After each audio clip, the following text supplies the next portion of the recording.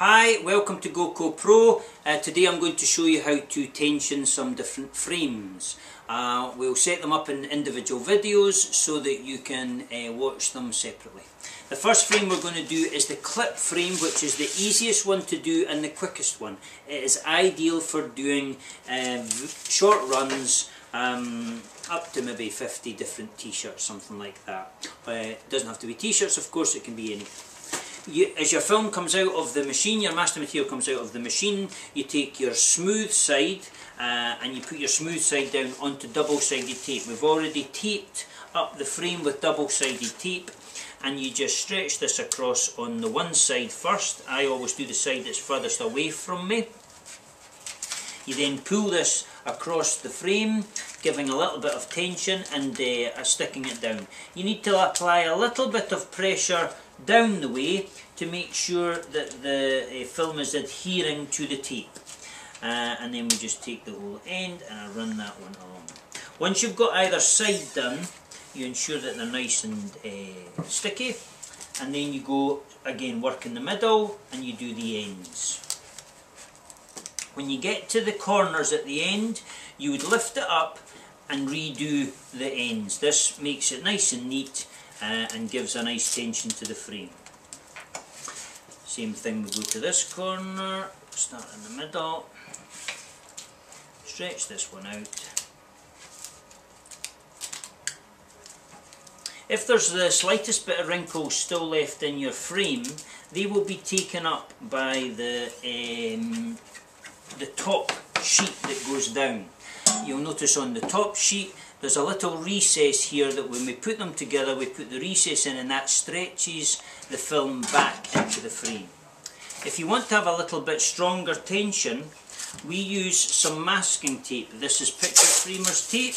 We sell it uh, to go along with the machine and you would just stick it along the top. What this does is it helps uh, two different things. It helps uh, add extra adhesion to the film uh, so there's less likelihood of it moving as you work through your different uh, t-shirts. It also adds a little bit of thickness to the gap that the nylon mesh is uh, sitting in. Uh, because you add a little bit of thickness it means when you put your clip on it adds a little bit of extra tension to the clip. As you can see, I've kept it in the middle. Um, it's not it's not uh, too much. Um, what we would then do is we would just uh, uh, fold it over and make it nice and tight. This masking tape on here also um, is ideal because if you're messy when you're adding any ink on, that keeps your frame nice and clean as well. So it's, it's kind of doing a lot of different uh, purposes.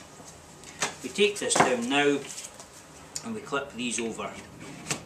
We put our two long sides on first. And what I also do is I nip the, the first one you, you do together and the bottom springs out. So you would nip the first one together, the bottom springs out. That allows you to get your clip on easier uh, and then the rest of them go. You always would start with a corner on your clip. So that now finishes up with quite a nice uh, tight screen, um, totally ideal for uh, printing away um, and cleaning up. If I was going to uh, now go to print, I would probably run another layer of tape just down here uh, to protect again your frame. So uh, you can move on now to uh, the other videos that will be online uh, which will show the screw frame which is ideal for 500 um, up to 500 uh, swipes or the um, high tension frame which is uh, will do even longer runs. Thanks very much just now. Cheers.